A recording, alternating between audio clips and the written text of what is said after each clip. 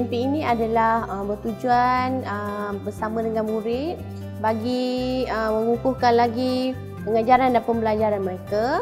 Saya menggunakan bahan konkret yang banyak untuk murid-murid lebih faham bagaimana uh, mempelajari dan memahami konsep membundakan nombor. Baik, hari ini uh, cikgu nak kamu tengok pada slide yang ada di hadapan kamu. Kamu nampak tak ada nombor apa kat depan tu? Nombor? Nombor sifar dan nombor 10. Apakah nombor yang terdapat pada simbol soalan? Afiq?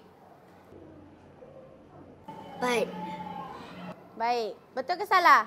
Betul. Okey, baik. Kita tengok slide yang kedua.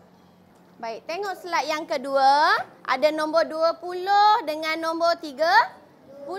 Okey, nombor 20 dengan 30. Kemungkinan nombor yang ada pada soalan tersebut ialah apa? Siapa nak jawab? Okey, uh, Haziq Amsyah. 26. 26. Kita tengok jawapan betul atau salah. Betul tak? Betul. Okey, tepuk tangan pada Haji Amsyah. Baik, kita tengok pada slide yang seterusnya. Apakah nombor di antara 80 dan 90? Serena. 84. 84. Tengok jawapan. Betul ke salah?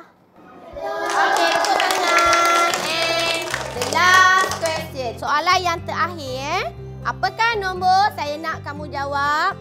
Uh, semua sekali. Boleh tahu tak jawapan di antara sifar dengan 100? Apa nombor dia? 50. Betul ke salah rasa-rasa? Baik, kita tengok ya. Betul? Okey, baik. Nanya, kamu dapat menjawab apakah nombor yang berada di dalam satu garis nombor. Okey. Sekarang ni, cikgu nak kamu tengok pada kad yang ada di hadapan ini. Cantik tak kad ni? Cantik. Okey, ini nombor apa? 50. Ni?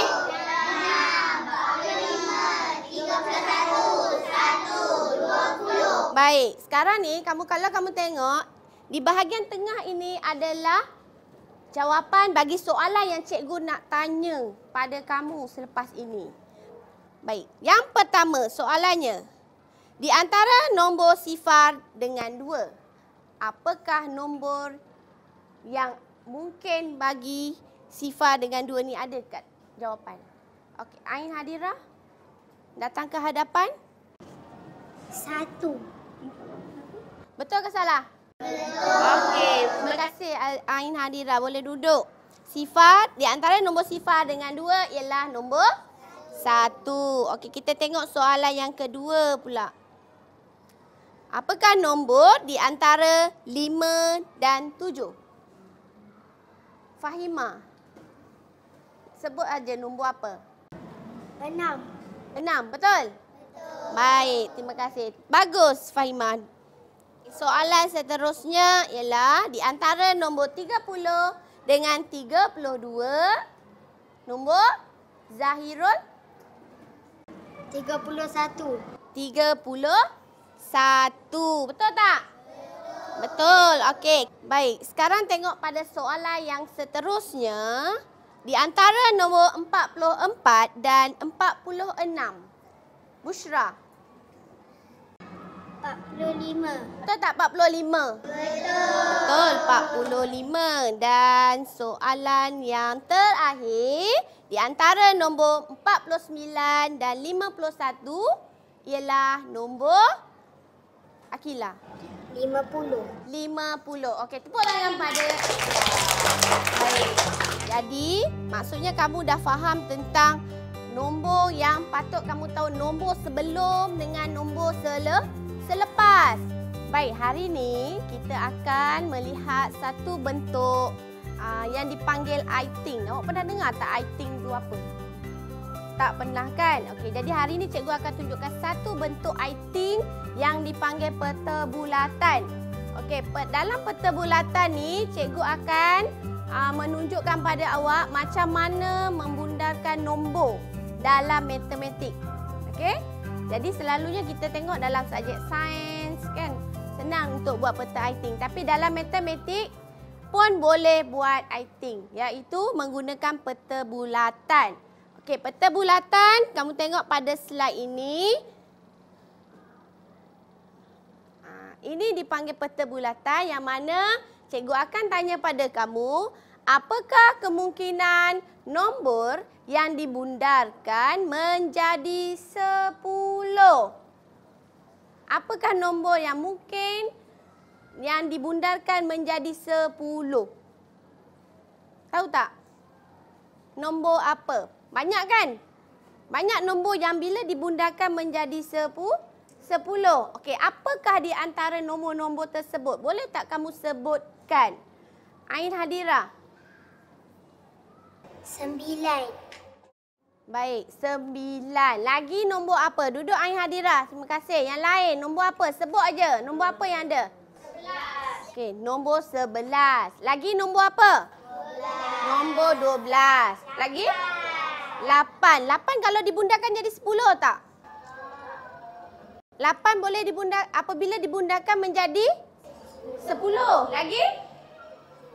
Tujuh. Enam. Lima. Dua belas. Tiga belas. Empat belas. Banyak kan? Okey, kita tengok jawapan dia. Ada tak nombor-nombor tersebut? Ah, nombor lima, enam, tujuh, lapan, sembilan, sebelas, dua belas, tiga belas dan empat belas. Boleh tak nombor lima belas dibundakan jadi sepuluh? Salah. Kenapa? Sebab dia jauh dengan siapa? Sepuluh. Oh, lima belas jauh dengan sepuluh. Jadi dia dibundakan dia menjadi apa? Dua puluh. Menjadi dua puluh. Baik, soalan seterusnya. Apakah kemungkinan nombor apabila dibundarkan menjadi empat puluh? Bushra. Empat puluh dua. Empat puluh satu. Empat puluh tiga. Okey, betul tak? Betul tak kelas nombor yang disebut oleh Bushra? Betul. Betul. Ada banyak nombor yang dibundarkan menjadi empat puluh. Di antaranya ialah ini. Nampak? Empat puluh empat pun dibundarkan menjadi empat puluh. Kan? Tiga puluh sembilan pun empat puluh. Apabila dibundarkan menjadi empat puluh. Baik. Okey, soalan yang terakhir. Apakah kemungkinan nombor apabila dibundarkan menjadi 80? Faza Mawadah. 81. 82. 79. Okey, betul tak yang Faza Mawadah sebutkan tadi? Betul. Ada banyak nombor yang dibundarkan menjadi 8 70. Okey, kita tengok jawapannya. 75. Okey, sebut sama-sama dengan cikgu. Tengok slide. 75. 76. 77.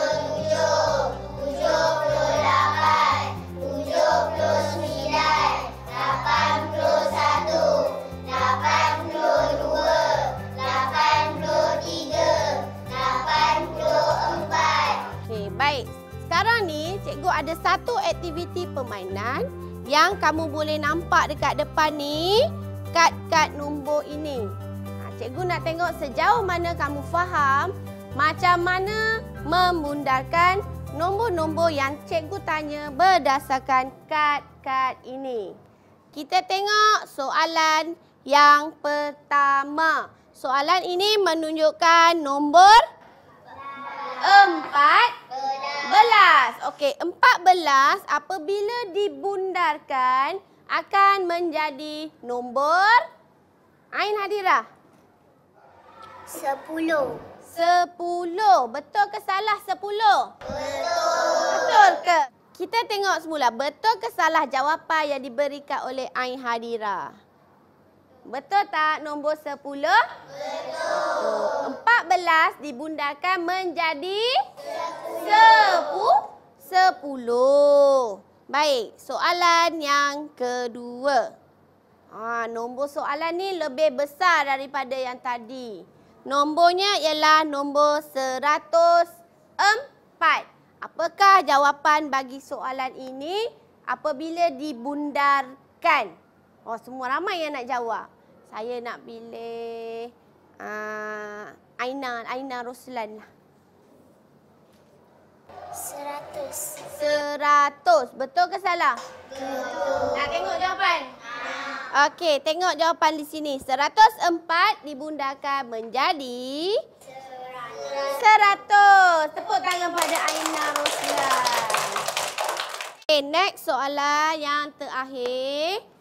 Sembilan ratus lima puluh enam dibundarkan akan menjadi apa?